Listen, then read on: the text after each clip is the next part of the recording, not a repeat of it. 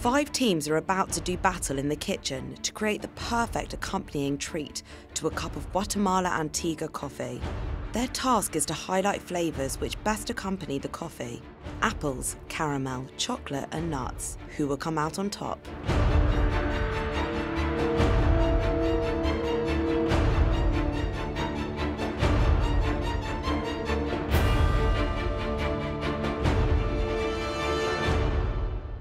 We're here at the Underground Cookery School in London to find the best charity bakers around. Let's go and meet the teams and find out what they're making.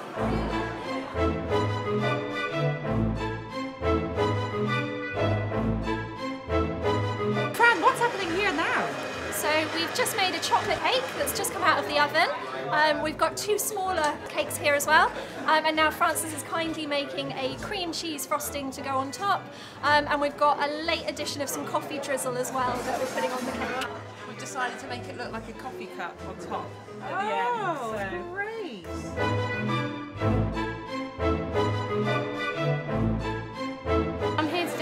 Lone, um, a great little charity. We've got a team, we've got Tony's Granny's recipe for a apple walnut cake.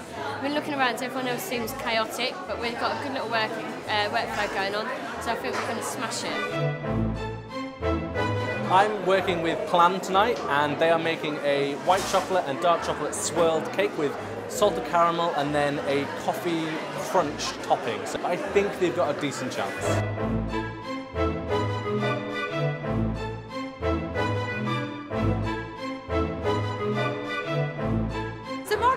What is this event all about? Well, first and foremost, it's about bringing people together, which is what Starbucks does best. We're bringing them together for a great reason, which is to celebrate being the first company to bring Origin Espresso to the high street. And today we're particularly looking at Guatemala and Antigua. And we've got a great bunch of people. We've got a heap of charity workers all vying to win £2,000 for their cause by baking the most scrumptious cake using Guatemala Antigua coffee. So really exciting time. They seem to have created some great cakes. I saw one with apples in it, which looks fantastic.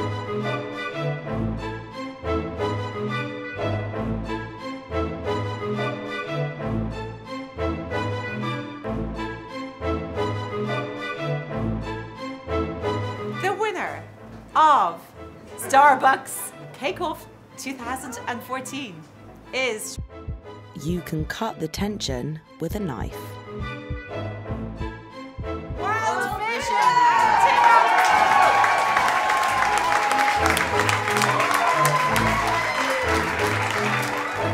So thrilled to have been tonight uh, with Starbucks to work on this uh, cake uh, challenge to celebrate the Guatemalan coffee.